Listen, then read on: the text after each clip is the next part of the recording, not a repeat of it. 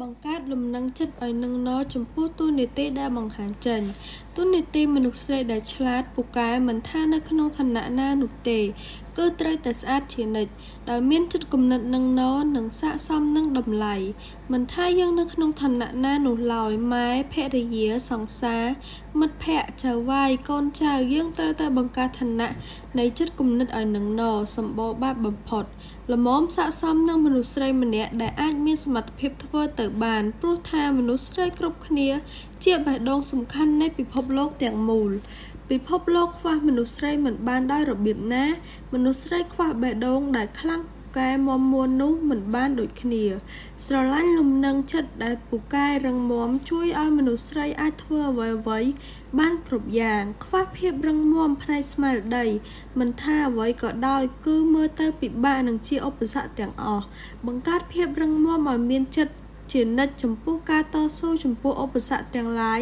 ដែលនឹងឈានចូលមកអុកលុកក្នុងជីវិតតស៊ូនឹងឧបសគ្គដែលចូលមករុនរៀនក្នុងអារម្មណ៍មិនឲ្យមានកន្លែងសម្រាប់ឈរមិនមានអ្វីមកបំផ្លាញជីវិតមនុស្សដែលមានបេះដូងរឹងមាំបានឡើយក្នុងឋានៈខ្លួនជាម្ដាយបេះដូងដែលរឹងមាំជាទុននីតិចិញ្ចឹមកូនបានល្អហើយឧបត្ថម្ភនិងជំរុញឲ្យកូនធំធាត់ដោយបេះដូងដែលរឹងមាំ ក្នុងឋានៈជាភរិយាបេះដូងដែលរឹងមាំអាចថែរក្សាស្នេហាឲ្យនៅបានយូរកសាងក្រុមគ្រួសារដែលមានភាពសម្បូរបែបដោះស្រាយបញ្ហាដោយខ្ចិតព្រាត់បញ្ចប់រឿងគំនុំគុំគួនដែលមាននៅក្នុងចិត្តដោយការលើកលែងទោសនិងផ្ដល់អភ័យទោសឲ្យទៅគ្នាទៅវិញទៅមកក្នុងឋានៈជាសង្សារបេះដូងដែលរឹងមាំជួយឲ្យស្នេហាមិនមែន នៅត្រឹមតែជារឿងនិទានក្នុងក្តីសុបិនដ៏ផ្អែមល្ហែម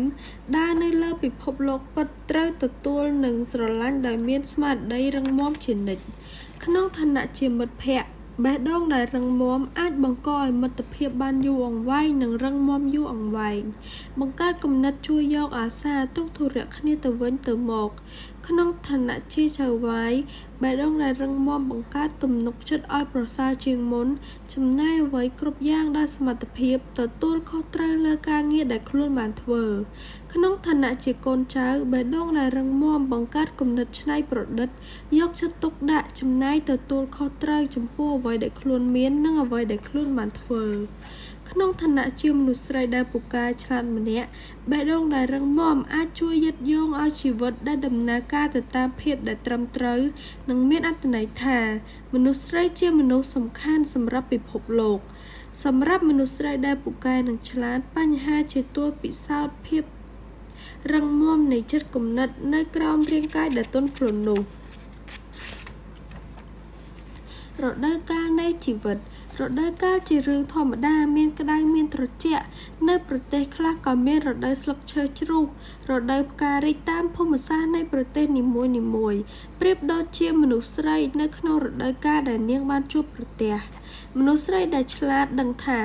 មានច្រើនរដូវមានព្យុះបក់បោក មានពេលខ្លះចេញក្តាំកម្ដៅថ្ងៃភ្លៀងធ្លាក់ព្យុះកភ្លៀងទឹកជំនន់រាំងស្ងួតរំជយដី រញៀងញាក់ក្តៅ វល់វល់បដោផ្លាស់ចូលមកសួរសុខទុក្ខជីវិតរស់នៅប្រចាំថ្ងៃជារដូវកាលដែលពេលវេលាណាក៏ជួបប្រទះដែរជាមិនផុតឡើយរដូវនៃជីវិតជារដូវដែលត្រូវបានជួបបញ្ហា ភាពវល់វល់និងភាពរញ៉េរញ៉ៃភាពលំបាកវេទនា និងឧបសគ្គភាពទុក្ខសោកពិបាកចិត្តញញឹមសោចក្អាកក្អាយសប្បាយចិត្តដំណក់ទឹកភ្លៀងពិបាកចិត្តសោកសៅរឿងរ៉ាវនាំឲ្យឈឺក្បាលវិលមុខភាពរន្ធប់ញាប់ញ័រ រឿងគួរឲ្យត្រេកត្រអាលភាពតក់ស្លុតចូលមកគ្រប់គន្លៀកគន្លុកនៃជីវិតរបស់យើងមិនថាជារដូវណាសភាពយ៉ាងណាក៏ដោយ មនុស្សស្រីដែលឆ្លាតដឹងច្បាស់ថា មានទូនីតិនិងភាពទទួលខុសត្រូវ ជារូបភាពចម្បងនៃជីវិតដែលត្រូវតែជំនះនិងឆ្លងវាឲ្យផុតទៅឲ្យបាន។ ចូលសន្សំបទពិសោធន៍ទាំងឡាយដែលជួបប្រទះនិងរដូវដែលអ្នកធ្លាប់ជួបប្រទះរៀនឲ្យចេះនិងដឹងអំពីវាព្រមទាំងកត់ចំណាំទុកនៅក្នុងខួរក្បាលចិត្តគំនិតជាចំណេះដឹងនាពេលអនាគតឧបសគ្គបង្រៀនឲ្យចេះនៅភាពរឹងមាំបញ្ហាបង្រៀនឲ្យចេះនៅបទពិសោធន៍ក្តីសុខបង្រៀនឲ្យមានស្នាមញញឹមនិងសំណោចភាពទុកសោកបង្រៀនឲ្យដឹងពីដំណាក់ទឹកភ្លៀងនិងភាពសោកសៅក្នុងជីវិត តួនាទីនិងការទទួលខុសត្រូវគឺបេះដូងដ៏សំខាន់នៃមនុស្សស្រី ដែលពូកែនិងឆ្លាតតែត្រូវឆ្លងកាត់វាឲ្យផុតនៅភាពសៅហ្មងទាំងឡាយដូចជាបញ្ហានិងឧបសគ្គមនុស្សស្រីដែលពូកែឆ្លាតមានសមត្ថភាពនិងអាចនាំឲ្យខ្លួនឯងឆ្លងផុតពីរដូវជីវិតយ៉ាងមានសុវត្ថិភាពក្រោមទូនីតិនិងការទទួលខុសត្រូវរបស់បេះដូងដែលរឹងមាំដោយតស៊ូនឹងឧបសគ្គដែលមិនមែនជារឿងតូចតាច វាមិនអាចដោះស្រាយដោយប្រើពេលដ៏ខ្លីនោះឡើយត្រូវអាស្រ័យទៅលើកម្លាំងចិត្តកាយគំនិតកម្លាំងអត់ធ្មត់តស៊ូនិងកម្លាំងតស៊ូនាំមកនូវភាពសង្បាយរីករាយរឹងមាំនឹងការដើរលើវិថីនៃជីវិតទួនាទីនឹងការទទួលខុសត្រូវបទពិសោធន៍ទៅលើភាពរឹងមាំពូកែឆ្លាតចុះសប្បាយរីករាយចំពោះបេះដូងដែលរឹងមាំបន្តទៅទៀតបេះដូងរឹងមាំការសម្រេចចិត្តទួនាទីនិងការលះបង់គឺជាទង្វើមួយដែលមានតម្លៃតែមិនអាចវាយតម្លៃបាននោះឡើយ។ការរៀបចំទម្រង់បែបបទនៃជីវិតឲ្យមានរបៀបរៀបរយ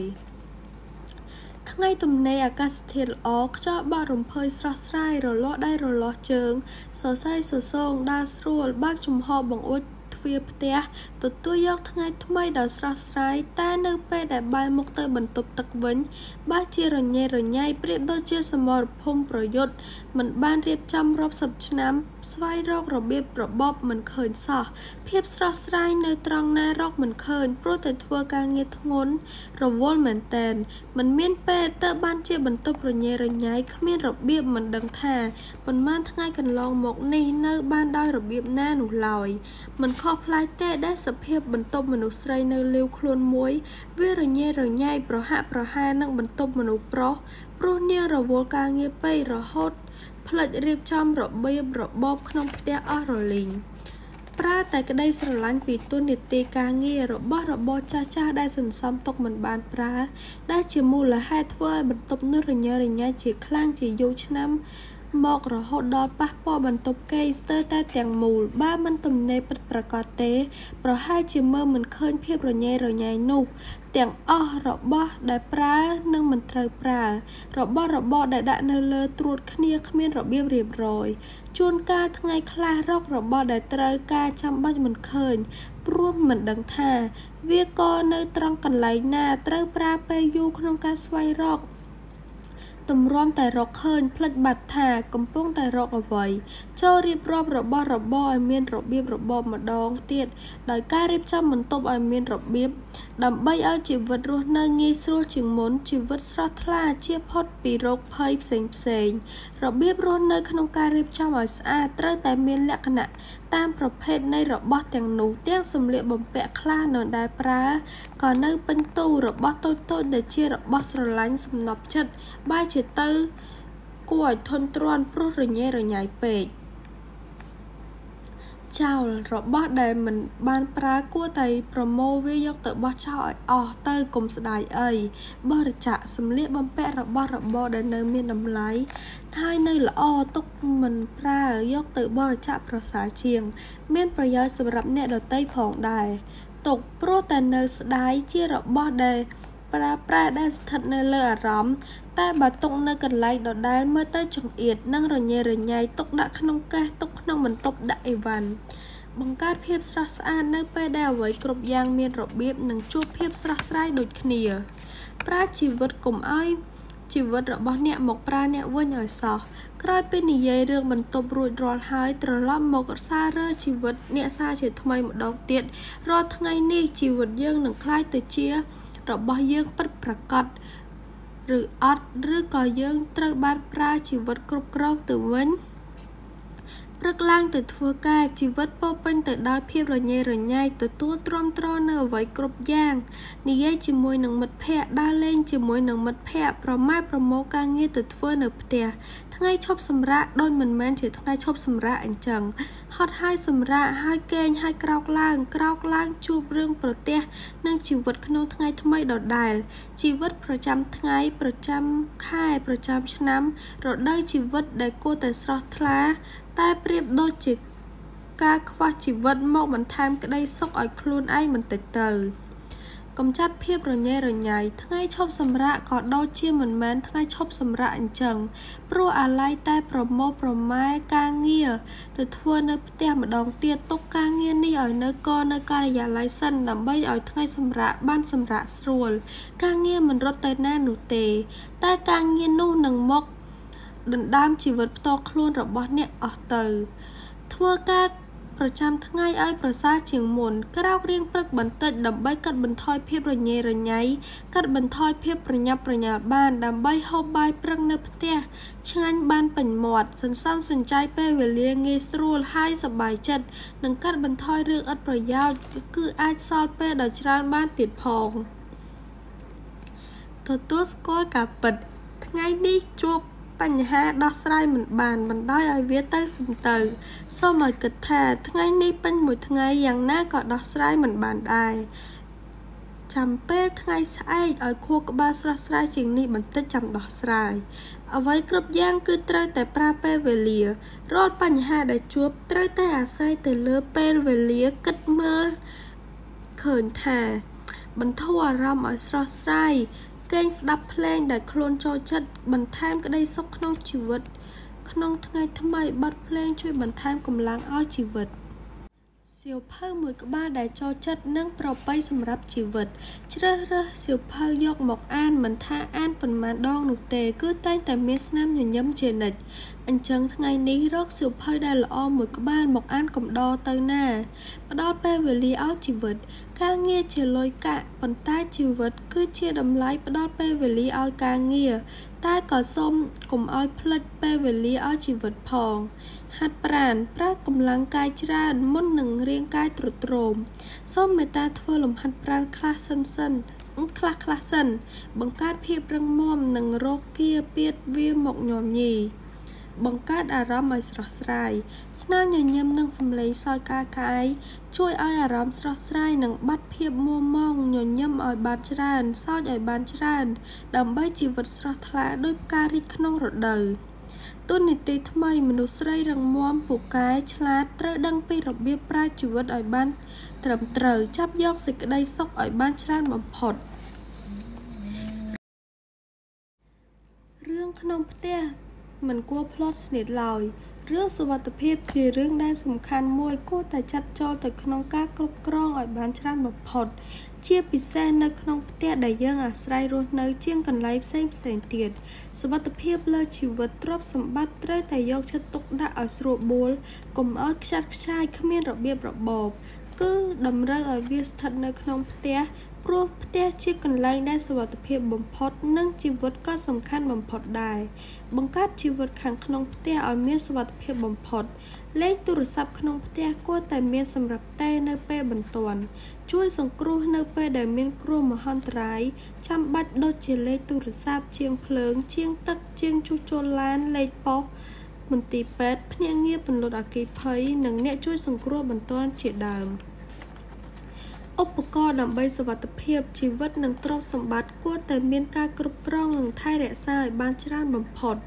រៀបចំស្វែងរកឧបករណ៍ការពារសុវត្ថិភាពធ្វើយ៉ាងណាឲ្យវានៅក្បែរដៃ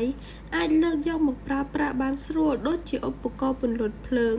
ពិលបញ្ចាំង ចង្គៀងទៀនដែកកេះឬឈើគូឧបករណ៍ពេទ្យ សញ្ញាដាក់ការពារចោលមិនមែនជាឧបករណ៍ក្នុងផ្ទះតែជាឧបករណ៍ការពារសុវត្ថិភាពដល់ជីវិត និងទ្រព្យសម្បត្តិតម្លៃវាអាចថ្លៃតែគុណភាពវាមិនអាចវាស់ថ្លៃបានថ្នាំសាមញ្ញធម្មតាប្រចាំផ្ទះទូថ្នាំកុំឲ្យនៅទំនេរសូមមេត្តាទិញថ្នាំដាក់ដែលចាំបាច់មកដាក់ហើយឧស្សាហ៍ពិនិត្យមើលផងថាថ្នាំណាហួសកាលបរិច្ឆេទខ្លះដើម្បីសុវត្ថិភាពជីវិតអ្នក ផ្នែកខាងក្នុងផ្ទះមើលទៅគួរឲ្យចង់រស់នៅរៀបចំផ្ទះឲ្យមានរបៀបស្អាតគួរឲ្យចង់នៅ ក្រៅផ្ទះបង្កើតភាពស្រស់ថ្លា ដើម្បីជីវិតស្រស់ថ្លា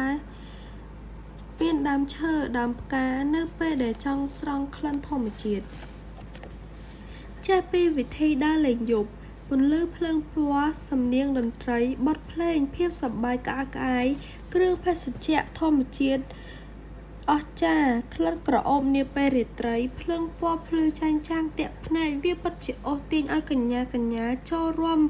អស់ដៃអស់ជើងមិនអាចហាមចិត្តបាន ប្រានឲ្យហក់លោតកញ្ជ្រោលតែងខ្លួនប្រានគួរឲ្យចង់ណែបនិតប៉ែតីសិចស៊ីសក់សាច់សខ្លីតាំងពី ចុងដល់ចុងជើង កន្ត្រាក់កាយនឹងតែងតែនាំឲ្យកញ្ញាកញ្ញានិងក្រុមមិត្តភ័ក្តិទៅសប្បាយកាកាយនៅក្នុងក្លឹបរាត្រី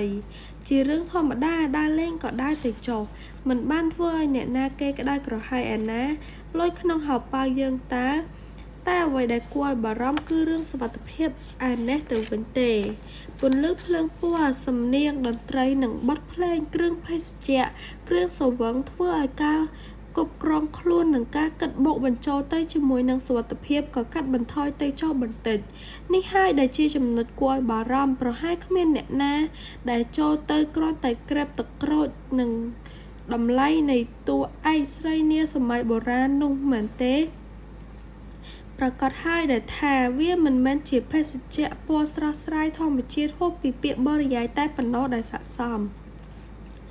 ទើបនាំឲ្យសុវត្ថិភាពคล้ายជាចំណុចចម្បងតែម្ដងនៅពេលដែលយើងទៅជាមួយនឹងមិត្តភ័ក្តិស្រីណាត់គ្នាឬក៏បដោកន្លែងជួបគ្នាហើយនិយាយថាលើកនេះខ្ញុំផឹកច្រើនឯងផឹកតិចដើម្បីជួយមើលគ្នាទៅវិញទៅមកលើកនេះយើងហូបច្រើនឯងត្រឹមតែអង្គុយមើលហើយក្រេបតិចតិចលើកក្រោយចំឯងផឹកច្រើនហើយយើងអង្គុយមើលតែម្ដង ផ្លាស់ប្ដូរគ្នាបែបនេះក៏ជាសុវត្ថិភាពម្យ៉ាងដែរនៅពេលដែលយើងទៅជាមួយនឹងសង្សារប្រុសរបស់ខ្លួន គឺគ្រាន់តែពាក្យជាសង្សារនៅមិនទាន់បានជាគ្នា100%នៅឡើយទេផ្លូវដែលប្រសើរបំផុតគឺនាំមិត្តភ័ក្តិស្រីដែលទៅជាមួយគ្នា ជាការប្រសើរម្យ៉ាងដែរដើម្បីសុវត្ថិភាពដែលអាចប្រថុយប្រឋានបាន។ ផឹកលំមលំមមនុស្សស្រីទោះបីជាយ៉ាងណាក៏នៅតែជាមនុស្សស្រីទុនខ្សោយជាមនុស្សប្រុសដដែលនឹងចង់ផឹកឲ្យដូចមនុស្សប្រុសនោះមិនបានទេអ្នកណាក៏គេក្រវីក្បាលដែរហើយកិច្ចឲ្យផុតដែរហើយបើធ្វើ